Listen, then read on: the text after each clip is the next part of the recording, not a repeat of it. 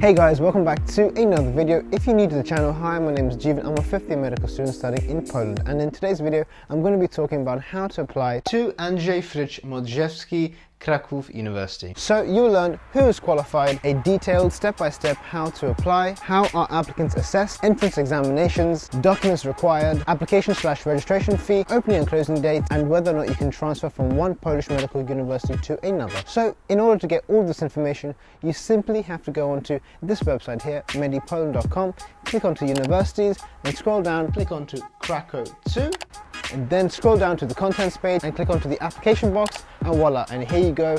Here's all the information like I mentioned earlier in this video. So make sure to check out this website and share it to people who are considering medicine. And if you watching is considering to study medicine well I wish you all the best. And if you come to the end of the video thank you so much for watching. If you found this video useful make sure to drop a like. And if you want to see more hit that subscribe button and that post notification bell. And I'll see you in the next video. Peace